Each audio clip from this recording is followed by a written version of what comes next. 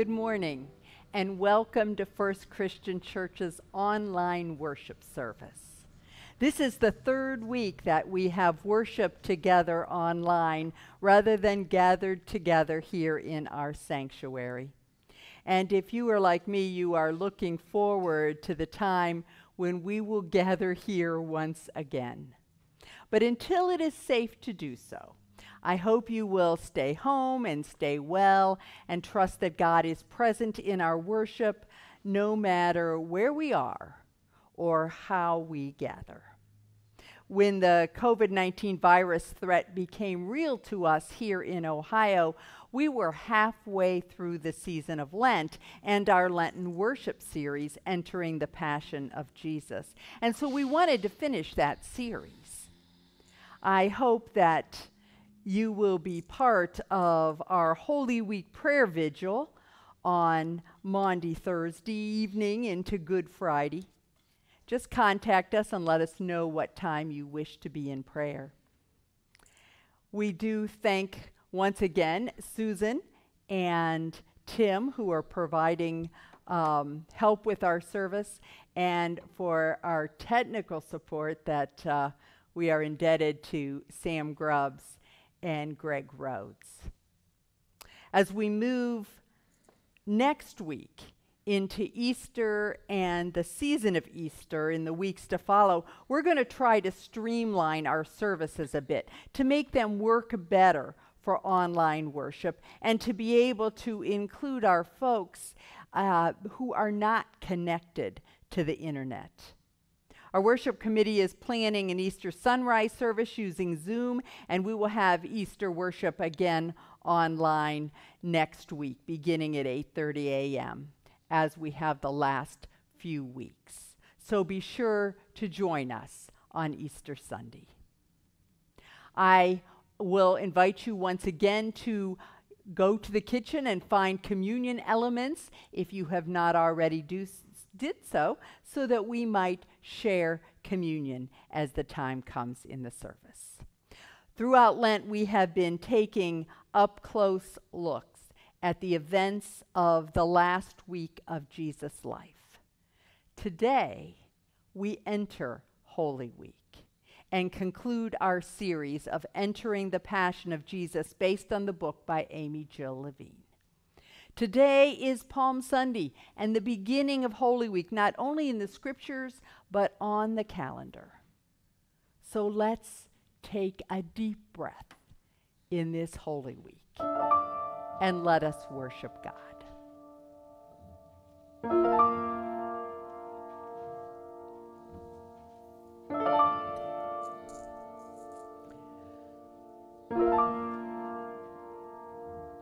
During Lent, we have taken six weeks to move through one week, the last week of Jesus' human life.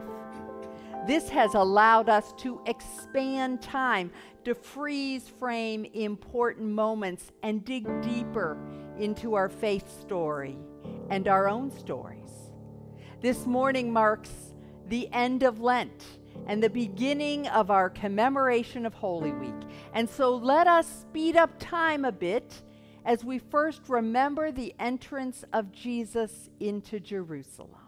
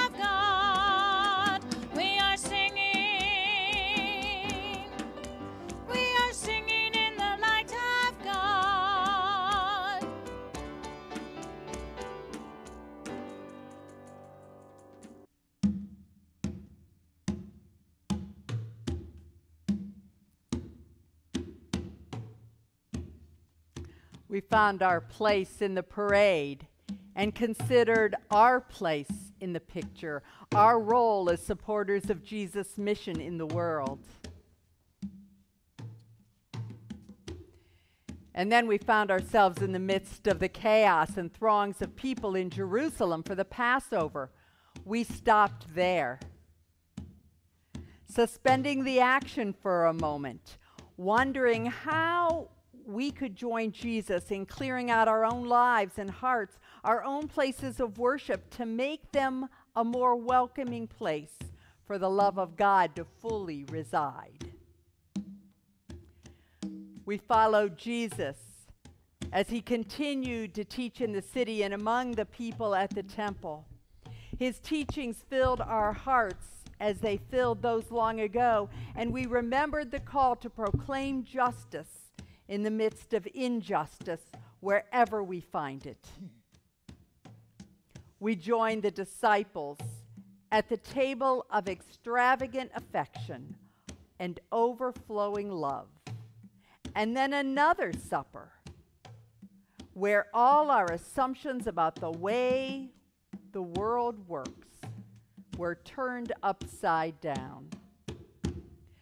This week, as we join Jesus in the garden, Gethsemane is the moment when a chain of events begins that cannot be halted. Once Jesus is taken into custody, there is no going back. So we pause a moment with him in the garden just before his arrest, and we feel with him the temptations that arise when facing difficult circumstances to run, hide, use whatever power we have to change things, fight it, perhaps even bargain with God. We walk among the sleepy disciples who just can't grasp what is about to happen. Enter, enter the story, enter the place you belong, not just looking on, for this is your story. Enter the story.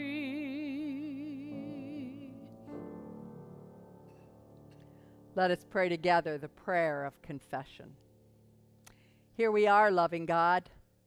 We find ourselves alongside you in a garden of grief for the violence so many of this world endure.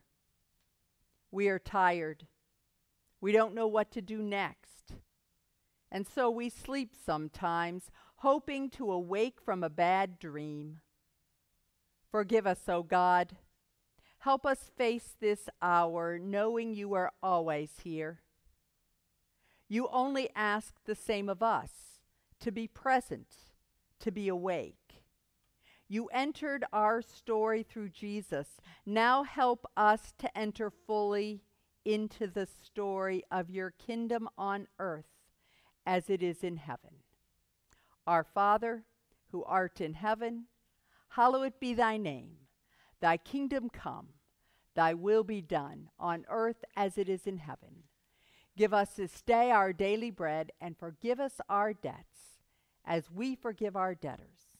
And lead us not into temptation, but deliver us from evil. For thine is the kingdom, and the power, and the glory forever.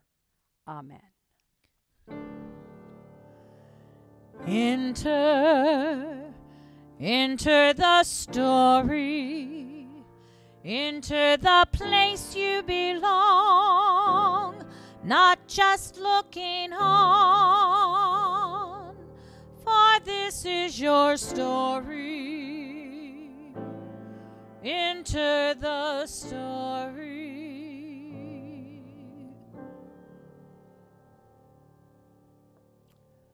Let this story remind us that no matter what we face or how we fail to meet the demand of the moment, second chances are possible. You are forgiven and freed, encouraged and loved by a God who wants you to live fully. Let us enter the passion of Christ.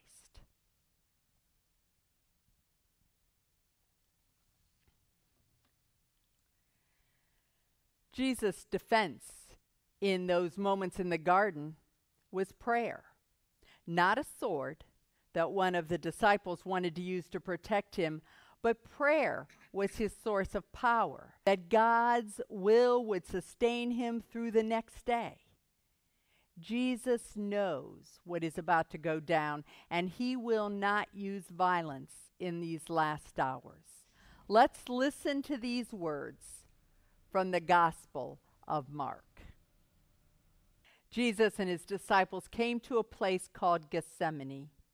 Jesus said to them, Sit here while I pray. He took Peter, James, and John along with him. He began to feel despair and was anxious. He said to them, I'm very sad. It's as if I'm dying. Stay here and keep alert. Then he went a short distance farther and fell to the ground.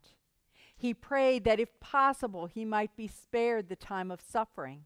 He said, Abba, Father, for you all things are possible. Take this cup of suffering away from me. However, not what I want, but what you want. He came and found them sleeping. He said to Peter, Simon, are you asleep? Couldn't you stay alert for one hour?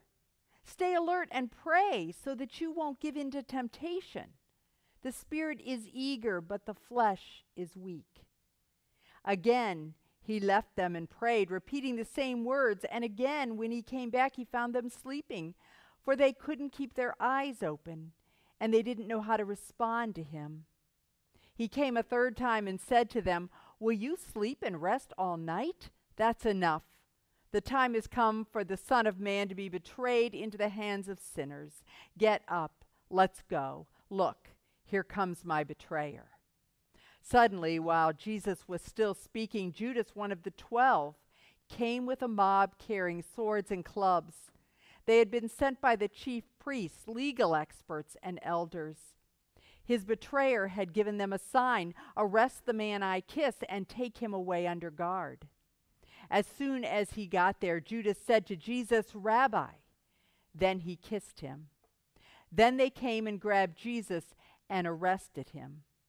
One of the bystanders drew a sword and struck the high priest's slave and cut off his ear. Jesus responded, Have you come with swords and clubs to arrest me like an outlaw? Day after day I was with you, teaching in the temple, but you didn't arrest me. But let the scriptures be fulfilled. And all his disciples left him and ran away.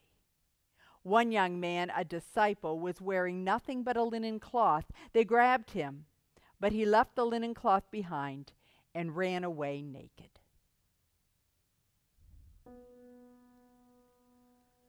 To see the King of heaven fall in anguish to his knees.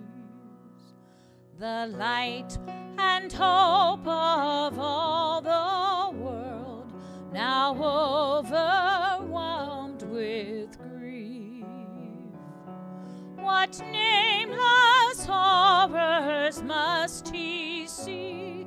To cry out in the garden. Oh, take this cup away from me. Yet not my will, but yours. Yet not my will, but to know each friend will fall away and heaven's voice be still. For hell to have its vengeful day upon Golgotha's hill. No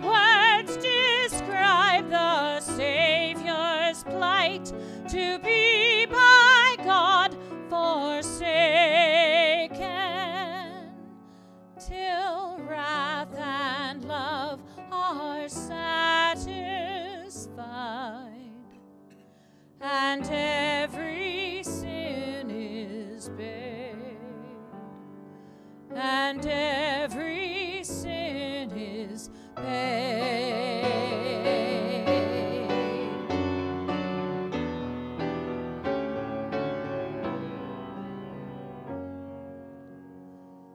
What took him to this wretched? What kept him on the road? His love for Adam's cursed race, for every broken soul. No sin too slight to overlook, no crime too great to carry.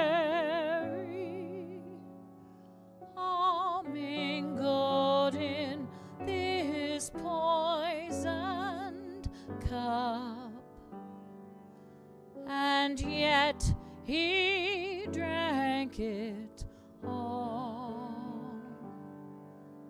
The Savior drank it all.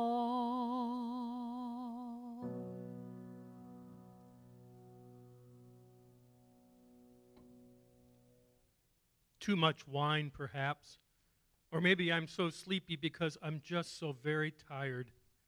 This week is taking its toll on me, watching our every step, wondering when the other shoe will drop, afraid that the commotion stirred up about Jesus will result in something terrible. I've been on edge ever since we got here. But oh my, that parade. Who would have thought that this man I met on the shores of my fishing spot would turn out to be three years of nonstop surprises? The entrance into Jerusalem was more amazing than all of it combined. I felt sure that I was part of something that was going to change everything. Now I'm not so sure. Not everyone, it turned out, was so pleased about Jesus' arrival here. And we've been under scrutiny for days. Then, tonight at the table, Jesus revealed that one of us was about to hand him over. I'm noticing who is missing here in the garden, and I'm wondering if maybe he was right. My gut turns over with the thought of it. I do not want to face that these people who have become my family could turn against one another under pressure. Fear threatens our very bonds. So why put ourselves out here in the open? I need to stay awake, keep watch. I've got my sword. I know Jesus told me not to bring it, but come on. All he seems to think we need to do is pray. He asked us to pray with him. Yes, I pray. I'm praying. I'm fervently praying. But is it enough? How can God help us if soldiers arrive? And yet, I'm so sleepy. Enter, enter the story, enter the place you be. Because our worship is online again this week, I will not lift up our specific prayer requests by name, but they have been sent to the email prayer group, and um, we can certainly share those with you if uh, you give us a call. Also, if you have a specific prayer concern during our time apart, please give the church or me a call because we do want to know. We, of course, are in prayer this week for all who are ill, for those who are facing or recovering from surgery this week. We lift up all of those who are suddenly without work, as well as those whose job for the health and well being of our community are very demanding in these uncertain days. We remember those who work to make our world and our community a safer existence for all people. We pray God's energy and well being on our healthcare workers and those who are called upon to make difficult decisions. We pray for those who are lonely and those who feel afraid. Let us join our hearts in prayer. Oh God, how quickly we walk into Lent with enthusiasm and vigor. We were determined to reach Easter as true Easter people, full of hope and intent on charity and kindness and love. But somewhere along the way, our steps falter, our pace slackens. We trudge along with slumped shoulders, and our gait becomes uneven. Everything we know is changing. And so we come to this Holy Week and we are only plodding one foot in front of the other and our hearts become as heavy as our feet. Forgive us, God. Stir us with a rushing wind that we might look up from the ground to the ma- majesty of the trees dancing in the wind. Let the breeze carry with it a whispered reminder that you walk with us even to the end of time. Force us to step more lively and breathe deeply that we might reawaken the gift of the Holy Spirit within us Help us move into this Holy Week and beyond. In the name of our crucified and risen Savior. Amen. As we come to what would be our usual time of offering, in our worship service, we, we do still want to help people. We want to do good in the world at this time of need. But we can't even worship together, much less receive an offering.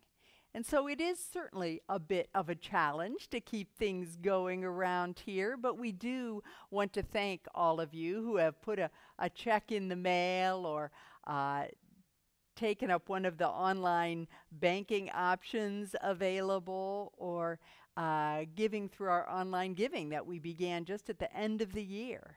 If you have any questions about those, we can certainly answer those um, here in the church office. Thank you for the ways that you continue to allow ministry to take place in this time and place in our community.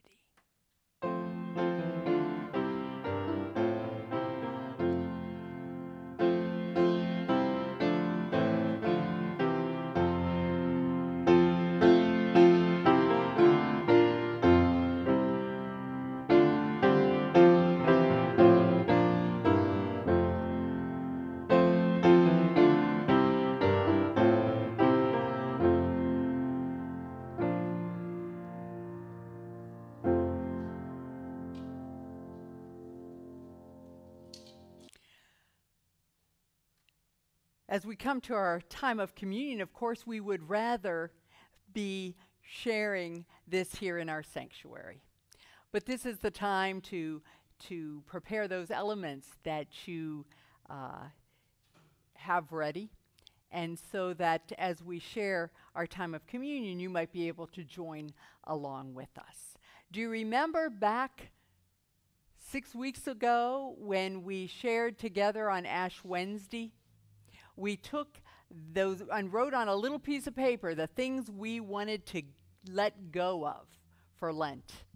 And then we burned them, took those ashes, mixed it with some gesso, and prepared a canvas. And on the, the rough ashes of that canvas, we had been watching, and as God to see what God could do with the canvas of our lives. And so we have, um, today I want to show you that canvas once again as we enter into this time of communion.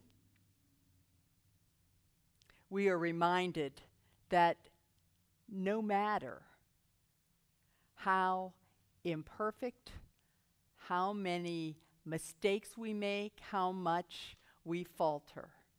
That God can take the canvas of our lives and let us begin again. Let us start anew. God can do beautiful things with the canvas of our lives. As we prepare to gather around this, our Lord's table, let us sing together. Here is bread.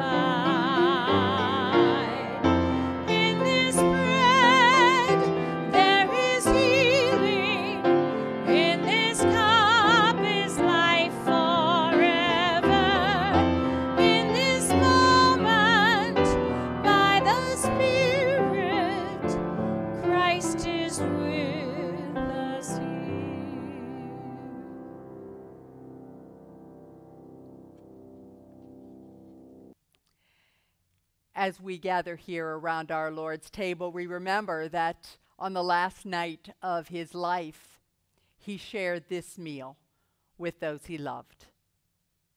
And during that meal, he took bread and he blessed it and he broke it and he said, Take, eat.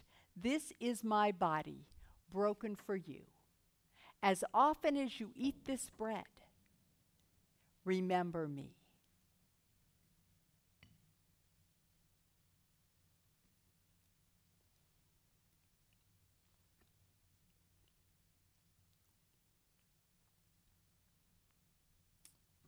And then after supper, he took the cup. Again, he blessed it and gave it to them and said, This cup is the new covenant. It's poured out for you for the forgiveness of sin. As often as you drink of it, remember me.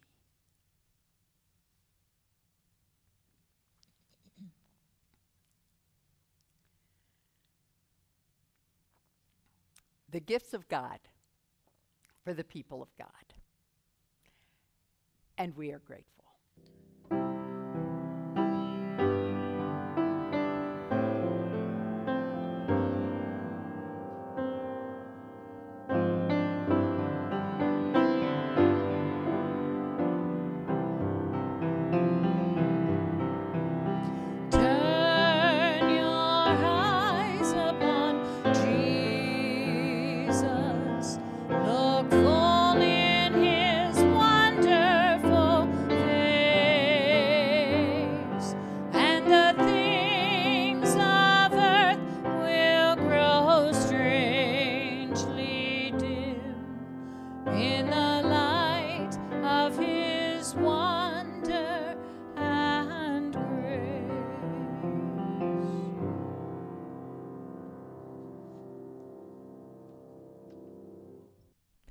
We are in the final weeks of our Lenten worship series using Amy Jill Levine's book, Entering the Passion of Jesus. We have been looking at the risk of following Jesus during the last week of his life. And this week we arrive at Gethsemane, the biggest risk of all. And in these last two weeks, since we cannot be together, we've been using videos by Amy Jill Levine, exploring further the scripture passage for the week. Let's take a look at the video for this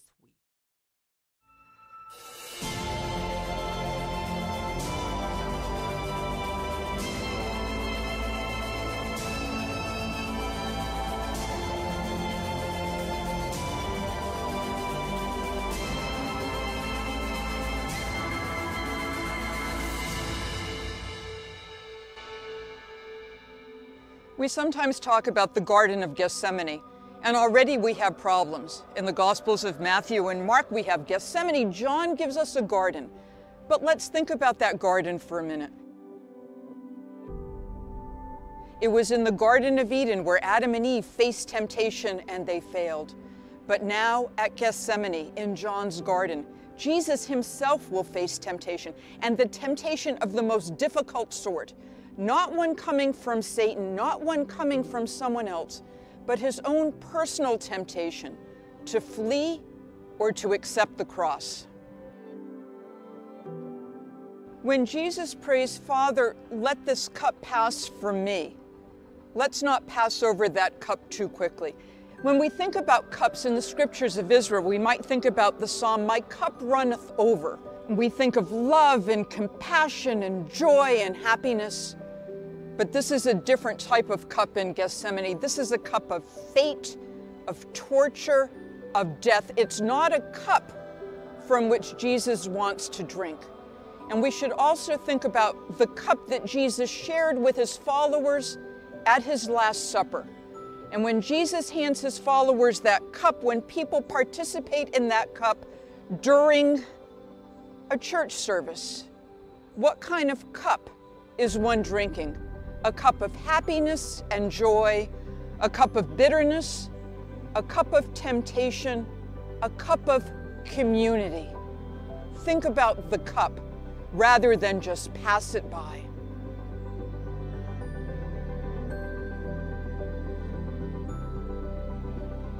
In Paul's epistle to the Philippians, chapter 2, he has this beautiful poem. It might actually be a hymn in which he talks about how the Christ was in the form of God but didn't feel the necessity of grasping that divinity.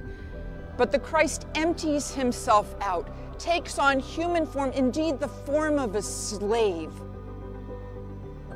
What does it mean to give up all your privilege, to give up all your power, to become a servant, indeed a slave for everyone? That's one of the teachings that Jesus offers, and more than just talking about it, he actually does it. When Jesus says, Let this cup pass from me, he doesn't want to suffer crucifixion, he doesn't want to die. But that's not a sign of lack of faith in God. To the contrary, it's a sign of enormous faith. Indeed, it's what prophets frequently do.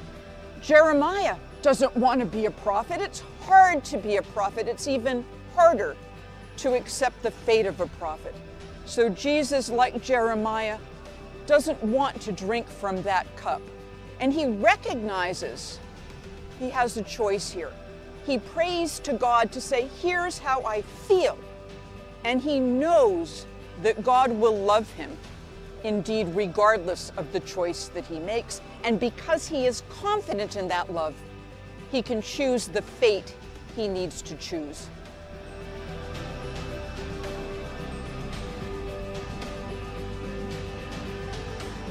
Jesus brings his disciples with him to Gethsemane. And he takes three of them, the three who witnessed his own transfiguration Peter, James, and John. And he says, Pray with me, stay awake. But they fall asleep, and Jesus prays and he comes back to his friends, but rather than watching and remaining awake, they have fallen asleep. Could you not stay awake just a little while longer? He asks. And he goes to pray again, and again they fall asleep. The insiders, the ones who witnessed him in all his glory, who heard his teaching, who saw his miracles, cannot stay awake, cannot meet his need. And the irony is that while the insiders fail him, the outsiders remain true. The anointing woman, whose name we do not have in Matthew and Mark, she represents fidelity. She's there, as Jesus says, to anoint him for his burial. And when Jesus dies, it's the centurion, the Roman army officer, who is with him when he dies and who is able to proclaim him Son of God. So the Gospels ask are you an insider? Are you an outsider? Have you failed? Have you remained true? And if you have failed, if you have fallen asleep, recognize that there's still a continuation of your story as well.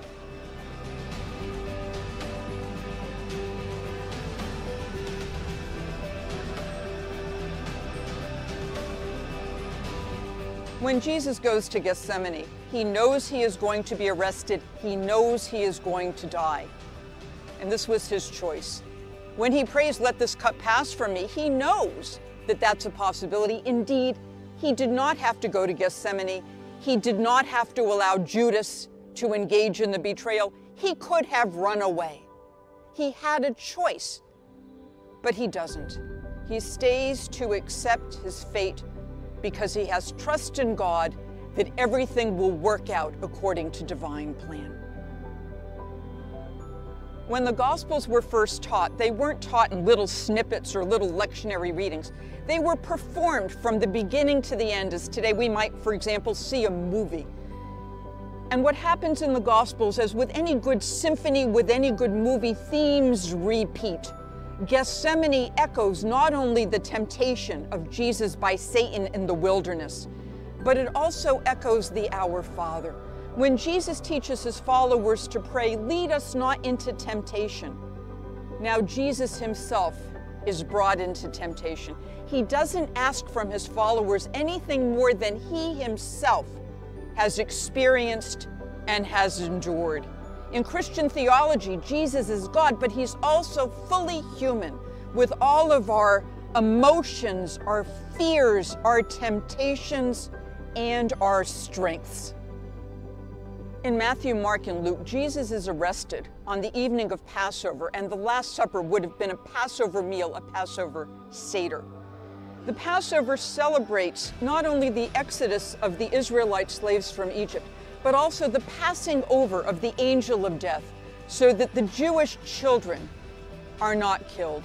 And what do we have here in Gethsemane? We have a type of Passover as well, but in this case, on this evening, the Son of God, God's firstborn Son, according to Christian theology, on this night, he will be condemned to death. Gethsemane is the biggest risk of all. Jesus is about to be re- arrested. Could he have uh, stopped his arrest? Of course. Could he have run away? Of course. His disciples were armed. He could have asked them to do something. Instead, he tells his followers to pray. The risk is knowing he can save himself and choosing not to do so. The disciples risk as well. Jesus says, stay awake, and they can't. They fail. On our journey through Lent, we have looked at stories of risk, of tragedy, of loss, and of remarkable courage, and of second chances. We too are vulnerable and fearful. We too have deserted. We too have failed to stop what cannot be stopped. Lent cuts us down, and in the rawness, that openness, we can begin to heal.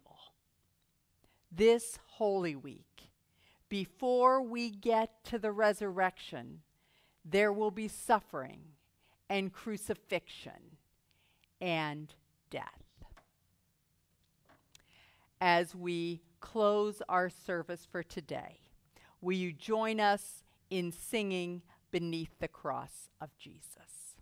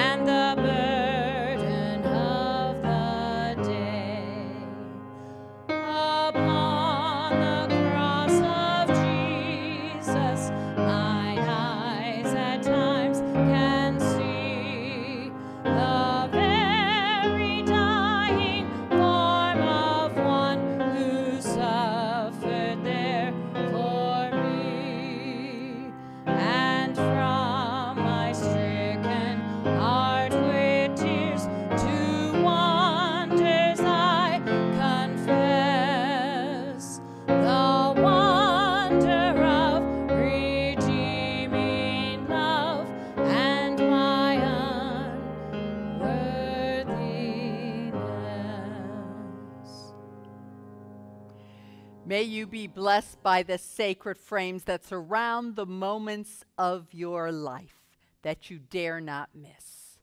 Know that God is with you no matter what this week holds. Go in peace. Amen.